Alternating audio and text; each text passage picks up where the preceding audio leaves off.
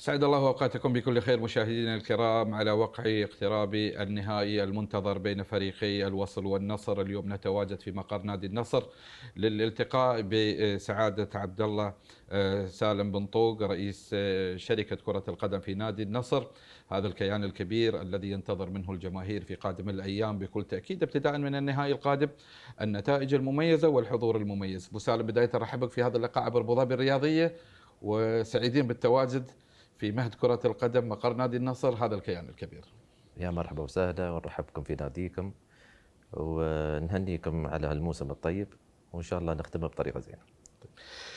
ابو سالم نهائي آه، كأس سيدي صاحب السمو رئيس الدولة الكل يدرك أهمية هذه البطولة. النصر قياسا بالبدايات هذا الموسم. اليوم نحن نتواجد في الفاينل أمام منافس بحجم الوصل. ماذا يعني لكم الوصول إلى هذه المحطة من عمر المسابقة؟ اللي بينكم وبين التتويج بلقبها سواء أنتم أو آه، الوصل مباراة. الوصول إلى نهائي كأس رئيس الدولة كان هدف رئيسي وضعه آه، رئيس النادي مع مجلس إدارة النادي لشركة كرة القدم. آه، الهدف الثاني اللي هو إعداد فريق قوي وجيد وذو شخصية ويقدر ينافس في المواسم المقبلة إن شاء الله. فهدف مثل ما قلت لك هدف رئيسي آه، الحمد لله آه، قدرنا إن إحنا نحققه وإن شاء الله إن إحنا نكمل في المباراة النهائية الهدف هذا. و آه، واللي زاد جمال هذا الفاينل إن إحنا نلعب ديربي. فإن شاء الله تكون مباراة ممتعة. أبو سالم هذه المواجهة الثانية أمام الجار فريق الوصل في النهائي. المواجهة الأولى كانت في موسم 85 86 توج النصر يومها باللقب فزتوا 2-1 والمباراة يعني فيها تفاصيل جدا جميلة واحدة من الأشياء اللي ما ينساها النصراوية. وسالم أنا عارف أنك من أسرة نصراوية لامتداد السنوات آه، أسرع هدف في تاريخ الكأس في تلك المباراة. حدثنا عن تلك الذكريات في في ذلك الانتصار المميز للفريق. المباراة هي أنا شاهد عليها يعني صح كنت صغير في وقتها يمكن 10 10 سنين كان عمري.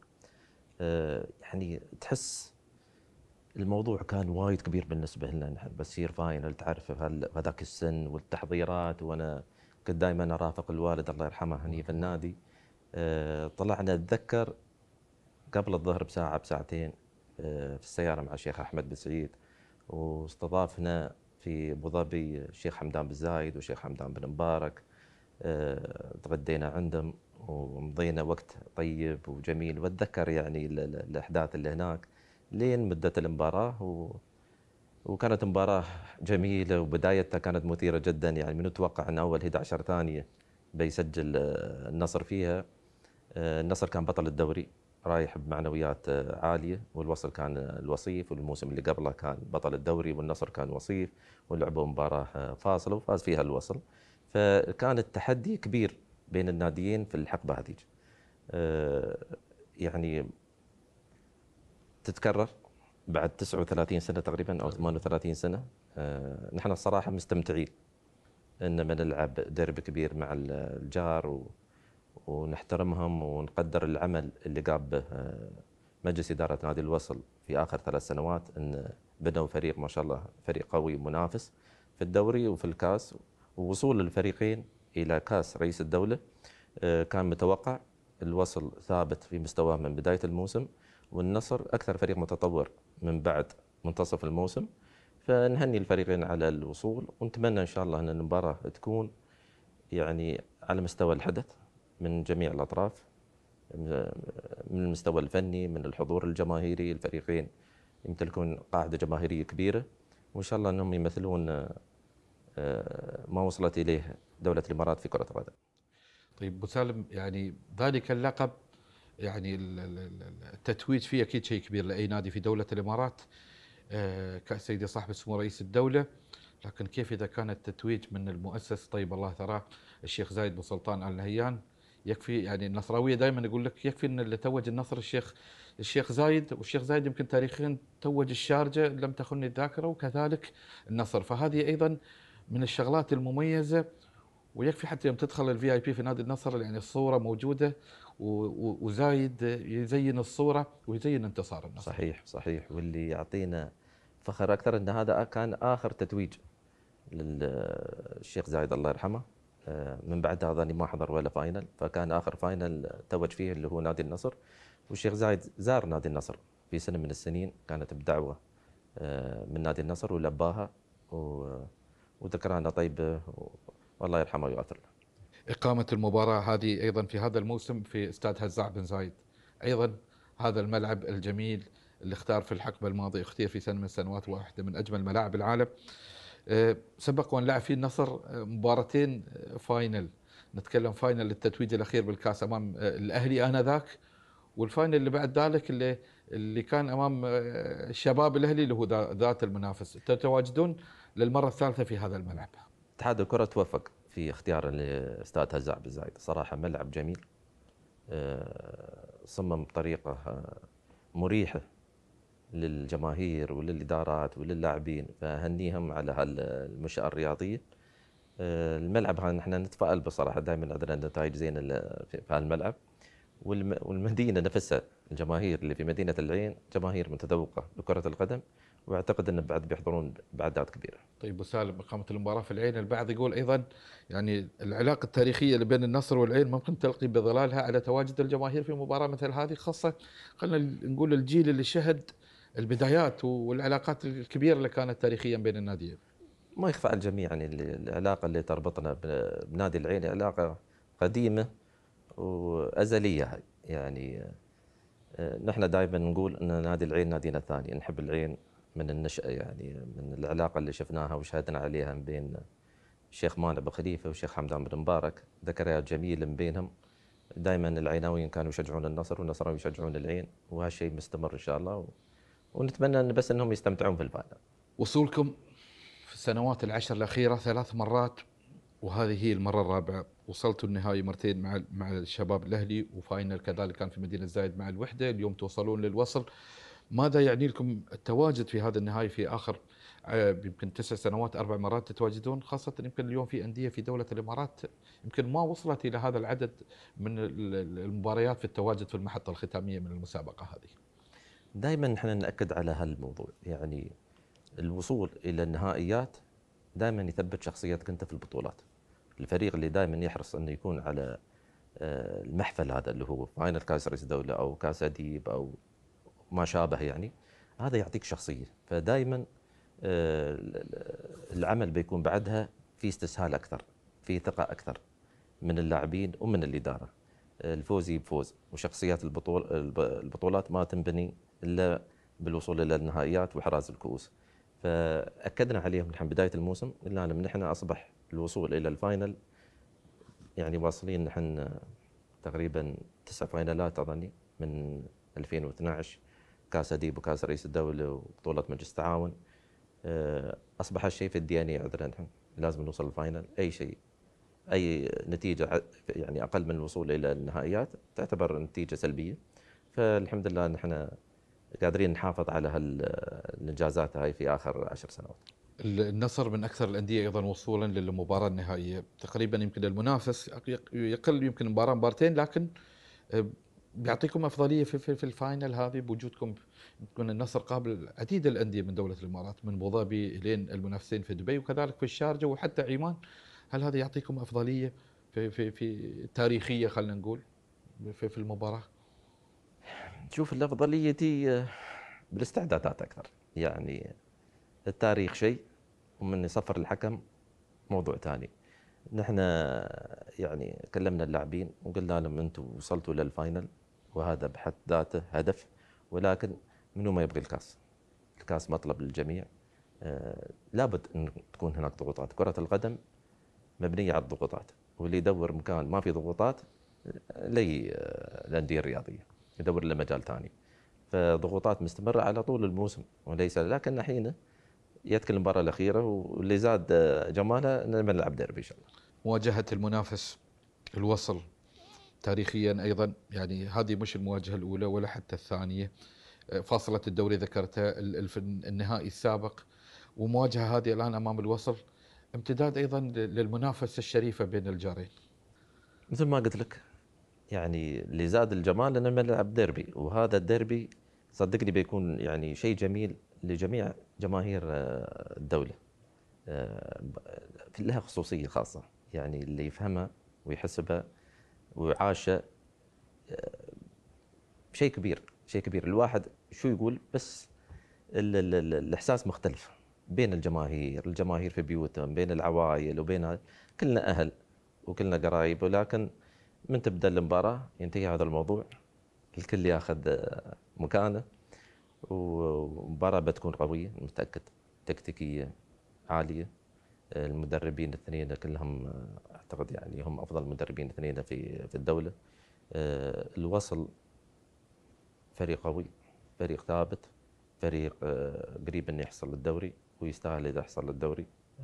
فريق منظم يمتلك 11 لاعب ممتازين بلس بنش عالي الجودة. هذا عمل الاداره ونهني الأخوان مثل ما قلت لك أعضاء مجلس إدارة الوصل على هذا العمل.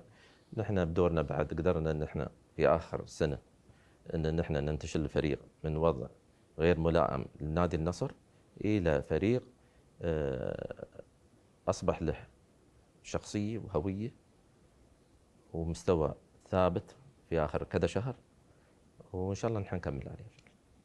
نجي للحقبة الحالية وجود شرودر اللي توفقتوا في التعاقد معه آه، يعني النصر بدأت تربط اسم النجاحات الأخيرة بالمدرب وكنا نستضيف أو نستحضر شيء من التاريخ. يوم يقولون كانوا يقولون النصر لابولا اليوم نصر شرودر آه، بوجودكم أنتم أكيد كإدارة النادي كلاعبين.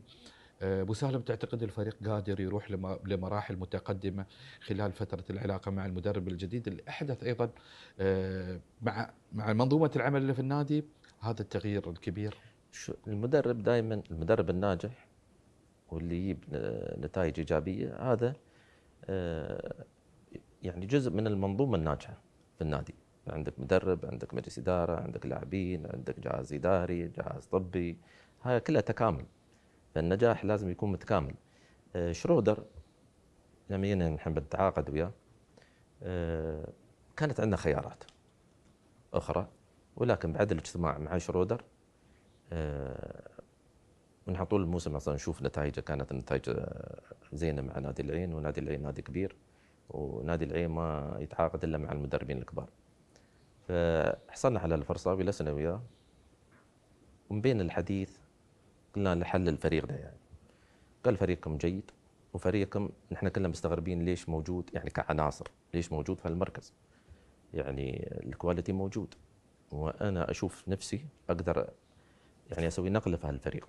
عنده ثقة في اللي شافه ولا ما كان بيقبل يعني العمل. فاللي أبغى أقوله إن اللاعبين اللي في النصر لاعبين جيدين الكواليتي موجود ولكن تحس الفريق يعني في الفترة اللي هي آه، بدأ فيها الدوري الفريق ما كان مفعل بالطريقة الصحيحة.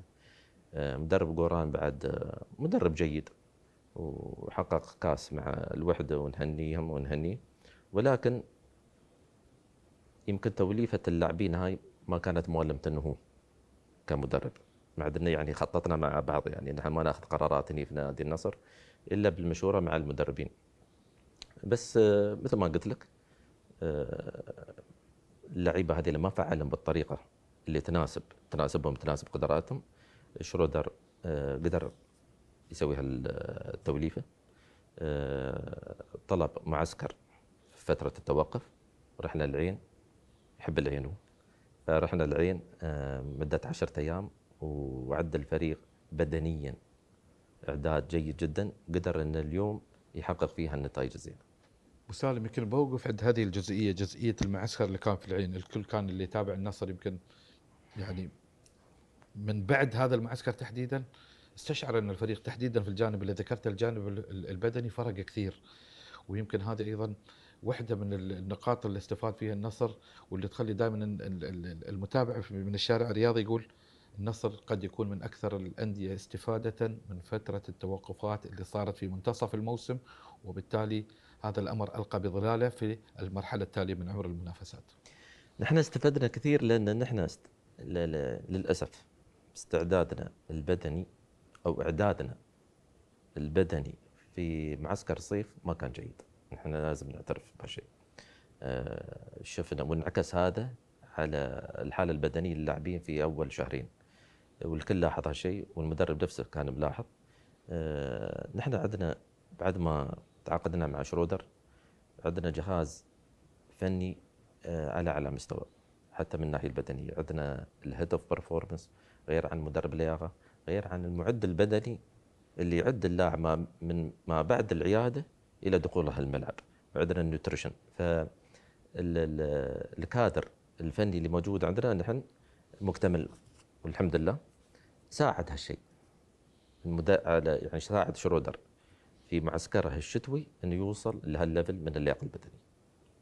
فالعوامل هاي كلها توفرت له والمدرب يعني بذل مجهود جبار في الفترة هاي ومدرب يعني مرتاح جدا من العمل اللي صاير مثل ما قلت لك عمل مشترك بين الإدارة والمدرب واللاعبين واللاعبين بعد يعني يقودهم كابتن مثل عادل عادل كابتن في الملعب وخارج الملعب نقل ال culture اللي عاش فيه في أوروبا إلى ال dressing room عندنا في نادي النصر نشكر على ذلك ونتمنى إن شاء الله إن إحنا نحافظ على القيادة اللي افتقدناها في آخر سنتين في نادي النصر. وسالم على طاري عادل يمكن عادل من في إحدى تصريحاته أيضا آه، خلال الفترة الماضية قال إن المدرب الجديد شرودر آه، استطاع أن يخرج الماكسيمم من اللاعبين وهذا الأمر يمكن آه، أثنى عليه كثير اللاعب فضلا على أيضا الدور اللي قاعد يقوم فيه اللاعب في الملعب ويمكن يمكن إذا من خلال تغطيتنا في ابو ظبي الرياضيه في مباراة شباب الأهلي هدف التعادل اللي كان في الدوري وحديثه مع الحارس واحدة من الحالات هذه تؤكد أيضا القيمة الفنية للاعب جنبا إلى جنب مع المدير الفني اللي موجود على الدكة. صحيح صحيح. مثل ما قلت لك التكامل موجود بين المدرب وبين اللاعبين. المدرب قدر آه، يسوي نقلة حتى في الحالة النفسية للاعبين. آه، السبيتش اللي عنده آه، يعرف متى ينتقي الكلمات المؤثرة. عنده اجتماعات فردية عنده اجتماعات جماعية مع اللاعبين. مدرب ذكي مدرب ذكي يعرف متى يصرح ويعرف شو يقول ويعرف شو يصرح. يعرف يلعب بالنفسيات آه، ولكنه واضح واضح في تعامله مع اللاعبين ومع مجلس الإدارة آه، مدرب عنده طموح وإن شاء الله أن إحنا بنشتغل معاه يكون نسوي بعد نقلة ثانية في نادي النصر. وسالم على طاري شرودر أيضا يعني واحدة من الأحاديث الموجودة بين النصراوية وبين الشارع الرياضي بشكل عام يقول لك ايا كانت والفوز والخسارة وارد في أي مباراة في كرة القدم آه، هل نتيجة ال final ممكن تلقي بظلالها على العلاقة مع المدرب لمستقبل لا الفريق؟ أبدا لا أبدا. نحن ما نشتغل بهالطريقة. نحن دورنا في هاي شوف هاي مباراة آه، نهائية آه، و يعني فيها فوز وفيها خسارة. لكن نحن ما نقيم العمل على مباراة واحدة. نقيم العمل على موسم كامل. الموسم لين اليوم موسم ناجح. اجتماعاتنا مع المدرب ما توقف. نحن نجتمع وياه بشكل أسبوعي. آه، ما نتكلم فيها عن بس المباراة الجاية ولا اللي قبلها. هذا جزء بسيط اعتبر أنا من اجتماعنا معه نحن دائما نخطط معاه للمستقبل. ف المدرب راضي على اللاعبين اللي عنده وإذا كانت فيه تغييرات بتكون تغييرات محدودة بناء على استراتيجيته اللي هو بيحطها لنا للسنة الجاية. بالنسبة لقادم الأيام النصر والناس كلها متشوقة للنصر شكل النصر السنة الجاية. خطة العمل للموسم القادم تصور الموسم القادم هل تم طرحه أم نحن مستعجلين شوي على النصر أبو سالم؟ العمل الناجح يحتاج وقت. يعني اليوم ما في عمل أقل عن ثلاث سنوات وبتقطف ثماره انت بهالسرعة. يعني ما نحن متفقين مع مجلس إدارة النادي. آه، على ضوء الرؤية المالية للنادي ولشركة كرة القدم. نستوحي منها أهدافنا. آه، مجلس إدارة النادي آه، وضع خطة وافق عليها رئيس النادي آه، لمعالجة الخلل المالي اللي صار لمدة سنة سنتين لظروف ما. الخطة هاي بتلقي بظلالها إن شاء الله على مستقبل نادي النصر في السنوات الجاية وبتعطينا استدامة مالية. لمجلس إدارة النادي وعرضوها إن شاء الله بنحط أهداف للشركات كلها يعني شركة كرة القدم والألعاب وشركة الاستثمار. ف والنصر يعني ماشي على رؤية المرحوم الشيخ حمدان بن راشد. الله عليه. إنه يدعم آه، الألعاب الثانية. يعني هالشيء ما بيوقف نادي النصر.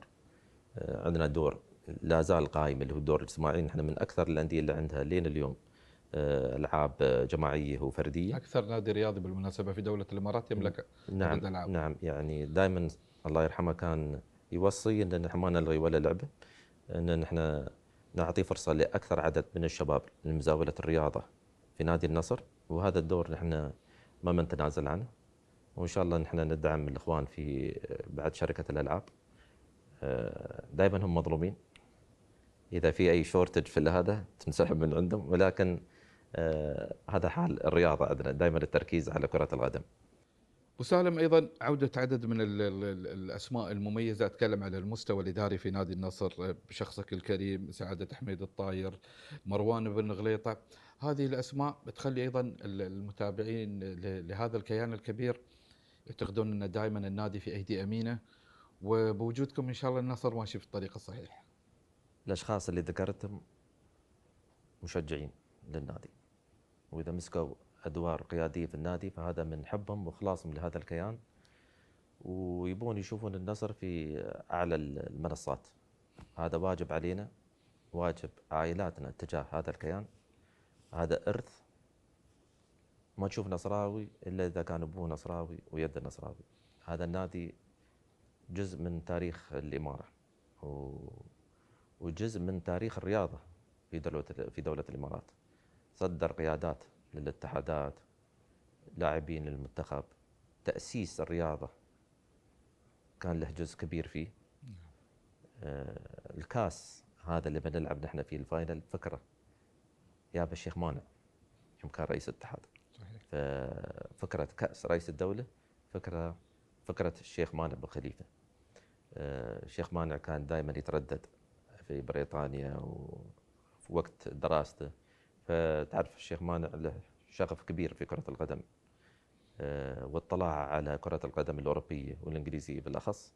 فنقل الفكرة هاي إلى البلد في ذاك الوقت. وبطولة كأس رئيس الدولة أخذت اسم أغلى البطولات لانتسابها لرئيس الدولة. فدائما هذا شرف كبير لكل نادي. فهذا واجبنا ونحن مهما قدمنا لهالنادي ما بنوفي حقه. النادي هذا له فضل علينا في تنمية شخصياتنا نحن صراحة. آه ونادي الكل وإن شاء الله أن الأجيال تستمر إن شاء الله يا رب. في تكملة هذا المشوار ونشوف هذا النادي دائما في أماكن اللي تليق طيب وسالم الموسم الجاي آه، بشكل النصر تصور الموسم الجاي آه، أتكلم عن ممكن مستوى معسكر تحضيراتكم أسماء قد تجي أسماء قد ترحل هل هناك تصور مبدئي وضعته حتى الآن؟ ما ما, ما. تجهيزاتنا الاداريه خلصين خلصين منها نحن يعني دائما نحن نخلص معسكراتنا في شهر اثنين أو نص شهر ثلاثة. وأشكر مدير الفريق الأخ علي عباس آه، قام بزيارات للمعسكرات هاي في شهر اثنين. واخترنا مع المدرب آه، معسكر آه، إن شاء الله يكون معسكر جيد في هولندا. عسكرنا نحن السنة اللي فاتت في هولندا وكان أيضا معسكر كتجهيزات اداريه ممتاز. فشفنا إن هذا المكان يناسبنا والمدرب بعد من جنسية هولندية فحبت إن بعد نستمر في هولندا. نحن في نادي النصر دائما نكون مستعدين لكل آه، المواسم ايرلي شوية. يعني حتى موضوع الملابس نحن مخلصين منه. يعني نشوف أشياء ثانية غير الفريق الأول. دائما آه، نحب الاختصاص. يعني آه، الأعضاء اللي موجودين في شركة الكرة كل من له اختصاصه نعم. الفكر اللي ما كان يعيبني قديما اللي هو مجلس إدارة نادي النصر الكل يتكلم فيه عن الفريق الأول وهذا خطأ. وهذا خطأ. دائما في ناس لهم اختصاصهم في كل المجالات اللي في النادي. فالحمد لله نحن نتطور اداريا سنة بعد سنة. آه، النصر دائما يحصل على جوائز من مجلس دبي الرياضه آه، مجلس دبي الرياضي آه، من تقييما للإدارات والعمل الإداري في نادي النصر. وإن شاء الله نحن العمل ما بيوقف العمل لازم يتطور كل سنة. تم تعيين الأخ حمد الفلاسي مدير تنفيذي لشركة كرة القدم صاحب كفاءة. وهو بعد من عائلة مؤسسة.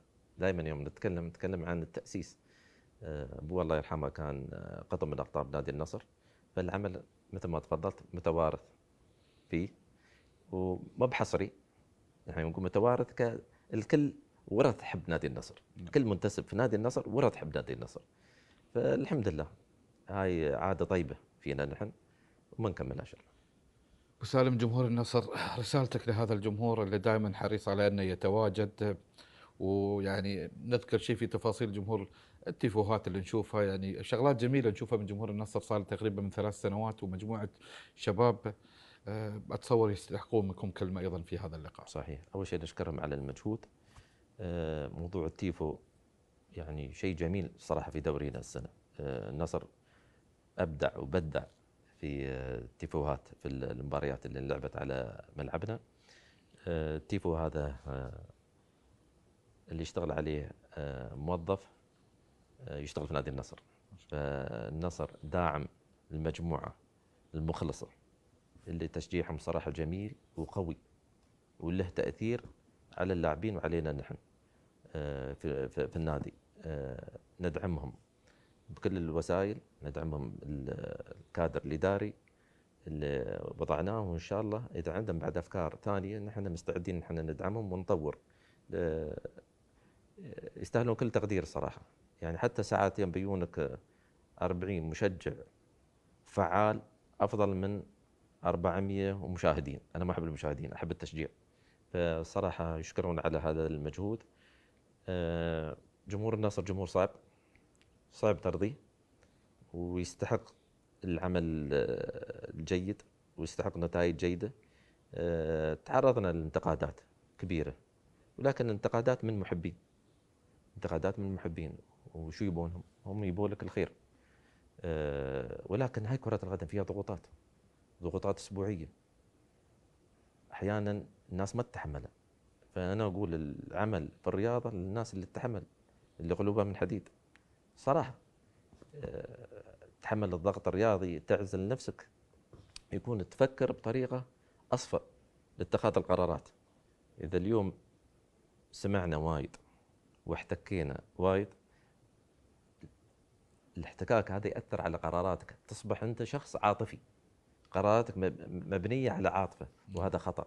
أمس أتكلم مع المدرب قال أنا إذا أتكلم إذا بتخذ قرارات عاطفية ما بكون مدرب. وإذا أنا كمجلس إدارة أقول نفس كلامي. اتخذنا قرارات عاطفية بناء على هزيمة هزيمتين بتكون قراراتنا فاشلة.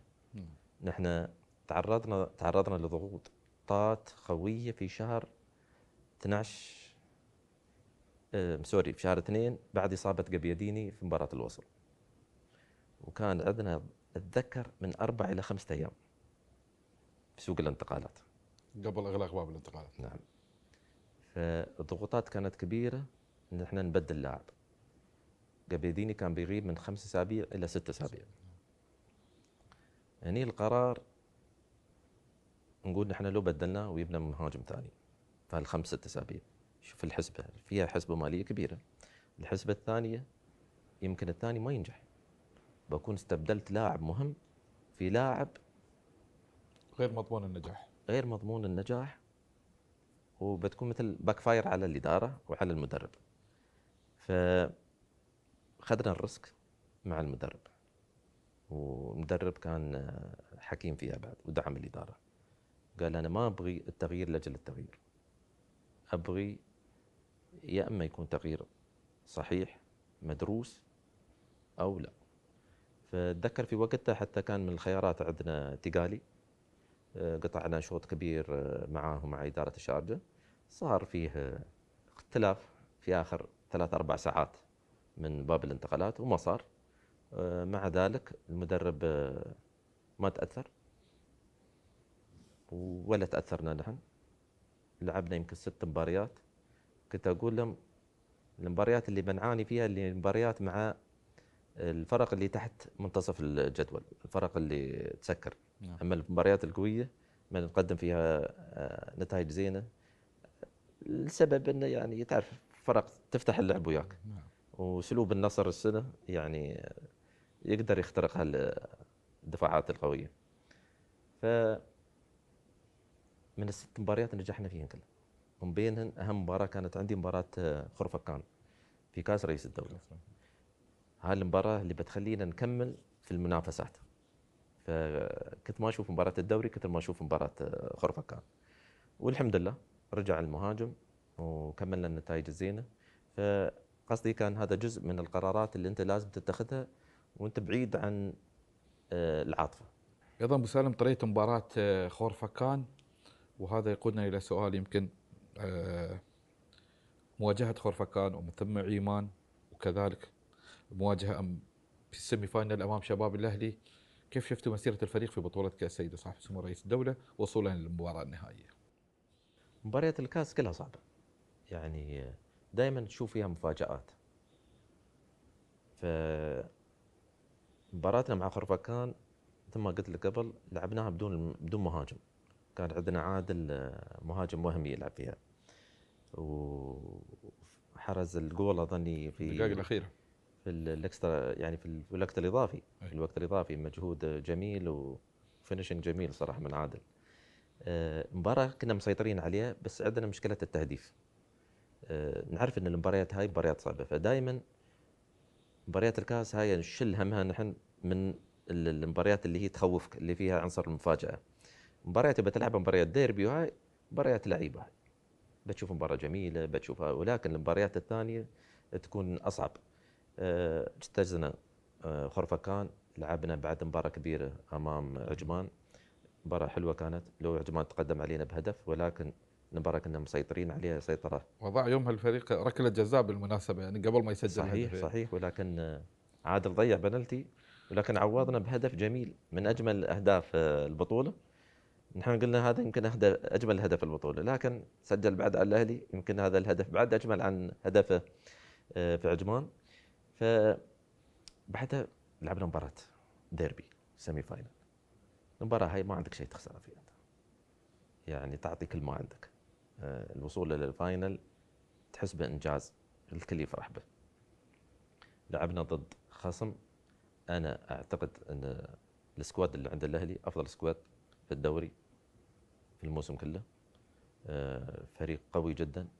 هو حاليا موجود في بطولة الدوري. البنش يعادل ال- الستارتنج 11 اللي عندهم. آه، ما هو يعني ما هو لهم الحظ في الدوري. أما في في المباراة نفسها قدمنا مباراة ممتعة. يعني لعبنا مباراة جيدة. أثنوا فيها جماهير الأهلي على النصر قبل النصراويين. فهذا اللي نحن نبغي- نوصله.